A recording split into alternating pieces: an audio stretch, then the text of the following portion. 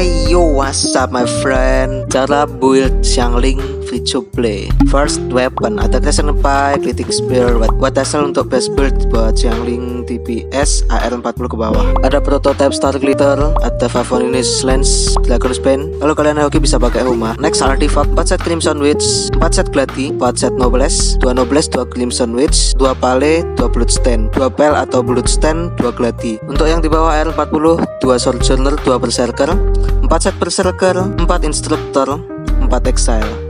Statnya apa? Nih. Sekarang talent, prioritas talentnya Naikin normal attack untuk DPS Naikin ulti atau burstnya untuk sub